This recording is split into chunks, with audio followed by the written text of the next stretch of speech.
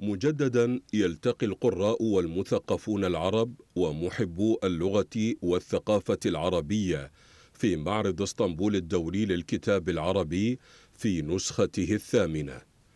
يتزامن معرض الكتاب العربي في اسطنبول هذا العام مع ما يجري في قطاع غزة من عدوان صهيوني دموي، الأمر الذي كان له واضح الأثر في فعاليات المعرض إذ فرضت القضية الفلسطينية نفسها على أنشطته وندواته الثقافية وأمسياته الشعرية.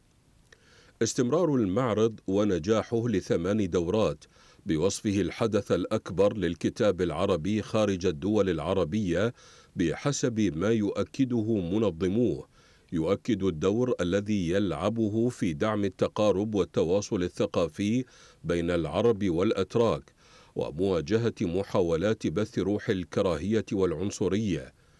كما يمثل المعرض محاولة للبناء على مساحات المشترك الثقافي بين المجتمعات العربية والمجتمع التركي بوصفها جميعا مجتمعات إسلامية يجمعها تاريخ وحضارة واحدة.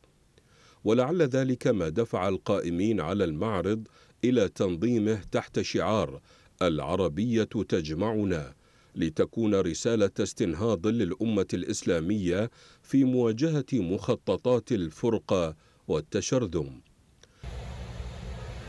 ولأن تركيا تحتضن عدة ملايين من مواطني الدول العربية الذين خرجوا من بلادهم بعد تدهور الأوضاع السياسية والأمنية بعد انكسار ثورات الربيع العربي وسيطرة الثورات المضادة فإن الكتاب العربي يصبح ضرورة لهؤلاء الذين اتخذوا من الأراضي التركية مهجرا شبه دائم لهم ولأبنائهم بهدف الحفاظ على الهوية العربية. كما يثبت معرض الكتاب العربي في اسطنبول أن حب القراءة والاهتمام بفروع الفكر العربي لا يزال مسيطرا على العقل الجمعي للشعوب العربية برغم ظروف الهجرة والمتغيرات المجتمعية والتحديات السياسية والاقتصادية.